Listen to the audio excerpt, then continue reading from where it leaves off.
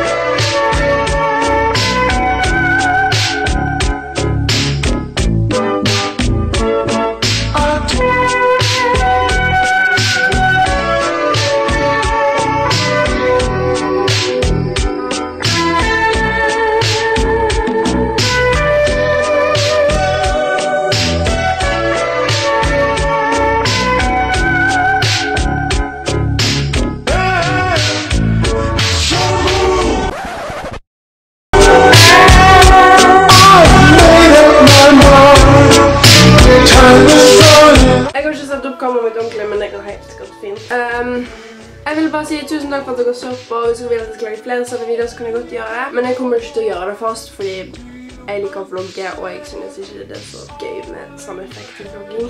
men jeg kan sikkert lage noen andre videoer med det. Håper i hvert fall dere likte videoen, og så snakkes vi med neste video. Ha det!